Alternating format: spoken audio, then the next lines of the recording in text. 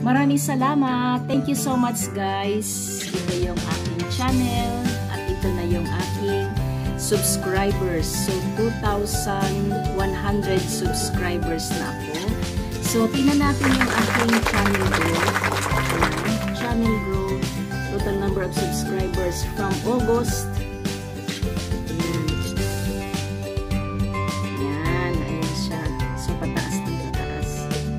So, masaya ako guys dahil ang target ko mag May 3 dapat ay ano na ako yung 2,000 subscribers pero mas maaga pa siya. So, ito ay from May 3, 2020 to April 9 pala siya 2020. Ako ay meron ng 2,100 subscribers. Thank you so much guys. Maraming salamat sa inyong suporta kay Mitch Vlog at hanggang sa sunod kong mga mga upload sa aking next journey. And I call this one a milestone in my YouTube YouTube channel. Ayan.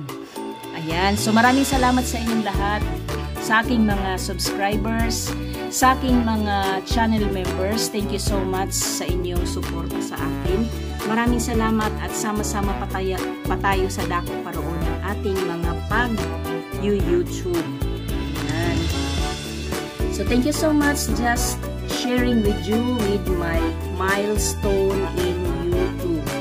So 2 years na ako sa May 3. Yan. Because uh, uh, nag-start kasi ako May 3, 2020.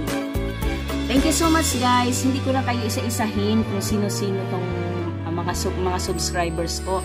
Alam niyo na kung sino kayo. Maraming salamat sa inyong lahat and see you around. See you again and see you in every live streams that you have and also in my live streams. Thank you so much.